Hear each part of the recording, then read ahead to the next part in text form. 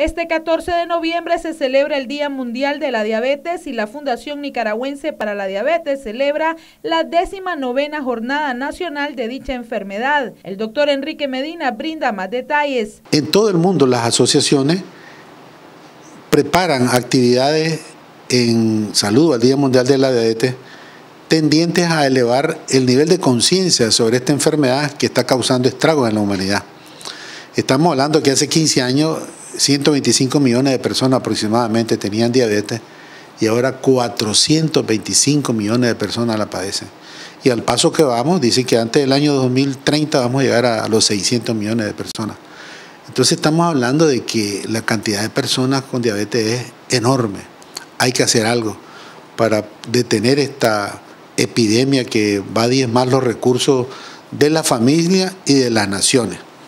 Entonces nosotros en la Fundación Nicaragüense para la Diabetes estamos celebrando este año la 19 Jornada Nacional de Diabetes.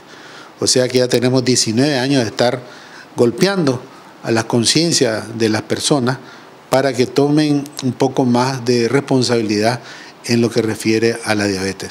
Y este año tenemos varias actividades a las cuales las invitamos desde ahorita.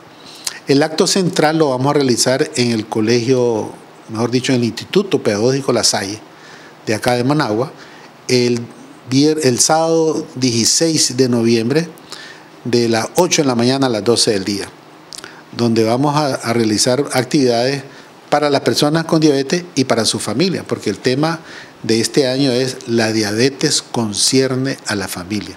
El doctor Enrique Medina brindó además algunas recomendaciones para prevenir la diabetes. Hay dos maneras de evitarlo. Hay cosas que no podemos cambiar, como por ejemplo la edad y eh, los antecedentes familiares. Si tenemos familiares con diabetes no lo podemos cambiar.